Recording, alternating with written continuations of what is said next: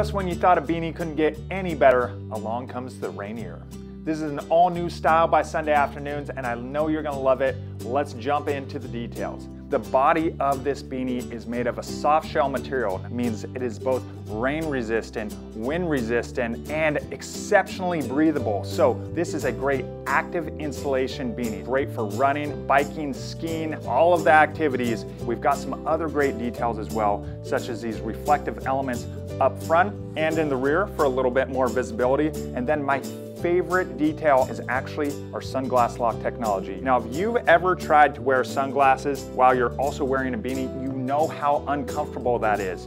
We have solved that problem. Slide the arms in here, they lock into place, they are not going anywhere, and they stay comfortable all day long. Let's pop this beanie off and take a look under the hood. Now, first thing I wanna show you is how flexible and stretchy this thing is. So super comfortable no matter what you're doing.